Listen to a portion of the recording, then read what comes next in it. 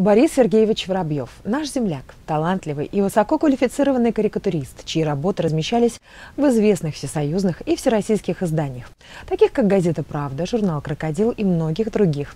Сейчас он на пенсии, занимается живописью. Его кисти принадлежит около 70 картин, которые хранятся дома. Почему он не хочет их продать и какую судьбу видит у своих полотен, узнаете из нашего сюжета.